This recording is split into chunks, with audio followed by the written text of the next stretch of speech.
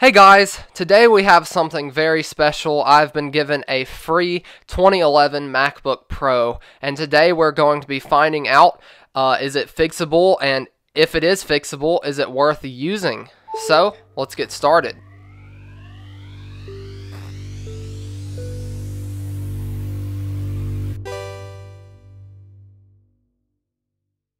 Okay, so first on the to-do list, as you can see, there used to be a ton of stickers on this MacBook, which I peeled off, except for all the residue is still here. So we're going to clean that up, as well as clean off the inside. You can see how disgusting all the keys are and all this around the trackpad and all that. The whole MacBook needs to be clean, so let's go ahead and clean it off.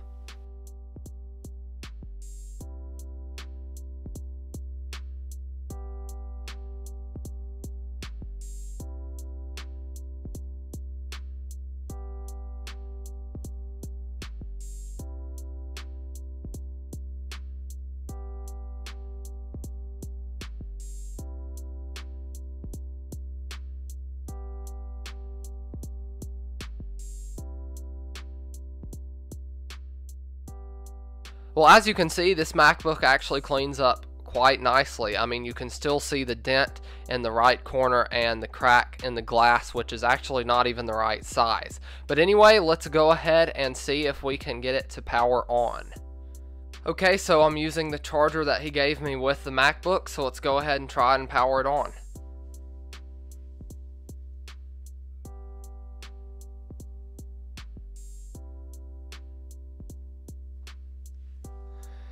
Well, it seems like it's not working, but I'm not getting a light on this charger either. So uh, let's try a different charger. I actually just bought one, so let's go ahead and try that out. Okay, so we got the new charger plugged in, and you can see the lights on over here, so let's see if it will boot up.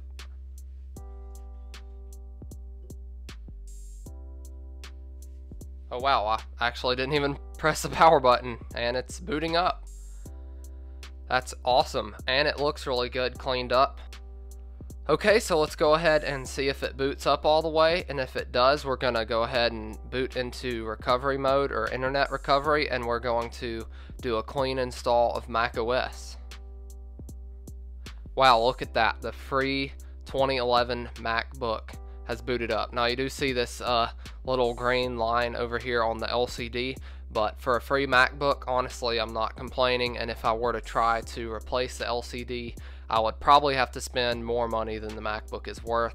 So I'm just not going to replace it. Aside from it's on the edge of the display, which is actually the best spot for it to be in because those ones that strike down the middle are the absolute worst. So let's go ahead and boot into recovery mode, wipe the hard drive, and do a clean install of macOS. Um, and you can also clearly see on this MacBook that it has been repaired before. Like the glass is not the right size for this MacBook. So that will be uh, something that we change out in the future, as well as uh, if this thing works well with the new macOS installed, we're going to install an SSD, 16 gigs of RAM, and we're going to put new glass on it, like I mentioned. So stay tuned for those videos. But anyways, let's go ahead and reinstall macOS.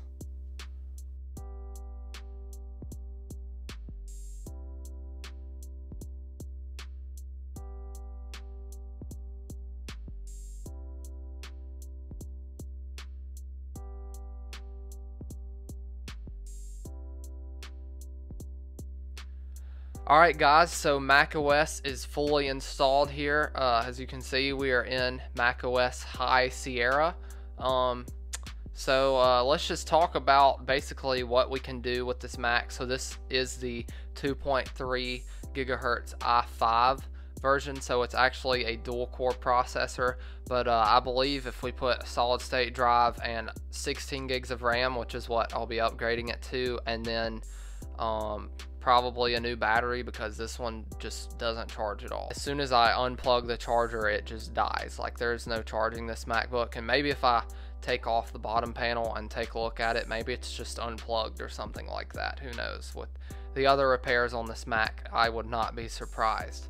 Um, but anyways, I'm very excited to upgrade this Mac and uh, try some other stuff. So let's just do like a quick little speed test here uh, booting up Safari. And again, keep in mind this is uh, with 4 gigs of RAM and uh, a mechanical hard drive. But uh, for its age, it's it's not too bad. But my but I use the 2011 iMac as my daily computer, and uh, I upgraded it, put uh, more RAM in it, put a solid state drive, put the i7 processor in it for it, um, and it works like a charm. I edit every video that you see on my channel with that iMac. Uh, but that is actually the reason I only edit in 1080p because I edited with 4K on it for a while, but it was so slow and laggy, I just gave up. It was taking way too much of my time.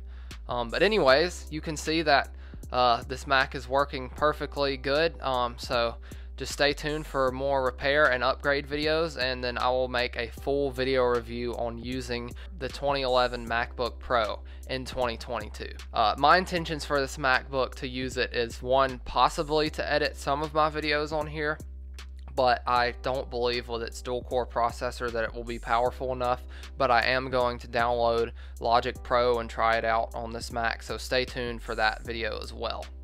So thank you so much for watching this video. If you enjoyed it, go ahead and subscribe to my channel as well as hit that like button. If you have any questions or comments, leave them down in the comments below and I'll try to get to them as soon as I can.